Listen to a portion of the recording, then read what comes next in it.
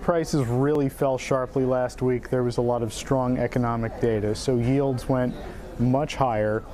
And uh, investors started worrying about what that meant for interest rates. And as interest rates go up, uh, especially if they go up too fast, people start worrying if it's going to affect economic growth, if it's going to make it too expensive for businesses to borrow money, for consumers to borrow money, and they start to worry about what that's going to mean for the growth of the economy in the years to come.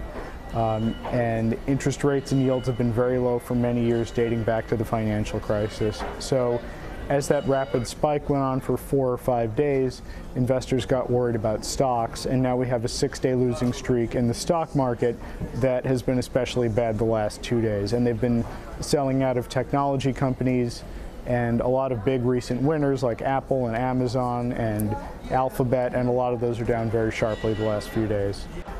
And the big question going forward is uh, earnings reports for companies are going to start rolling in on Friday. So is that going to uh, help relieve investors? Is that going to remind them that profit growth for companies is still good? Or are they going to see danger signs about things like uh, rising interest rates and oil costs? And of course, the trade dispute with China. And is that going to potentially make things worse? And that's what we're going to see over the next couple of weeks.